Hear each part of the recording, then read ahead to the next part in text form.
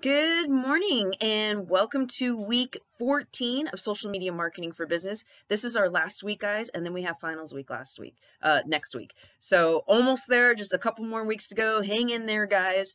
Um, if you haven't looked already, please review all the feedback I wrote for your social media marketing plans rough draft. If you are having problems writing and getting all those words and paragraphs and not knowing how to set up your paper, please visit the Writing Center on campus at Miracosta College. It's a free resource for all students. They help you out.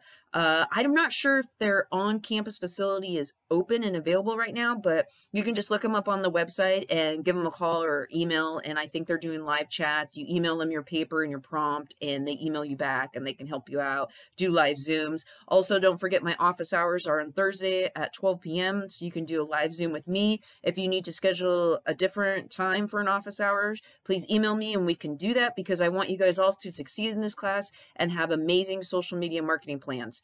So at the end of this week, Saturday, what we'll be due is your social media examiner presentation. So that video is due. Please review the assignment on how do not extend the time frame of your social media examiner presentation. Thank you very much. Um, I appreciate it because I don't want all these long videos that I have to watch, you know, keep them in that time frame. And then next week, your social media marketing plan is due, and that's your final project. There is no final exam in this class.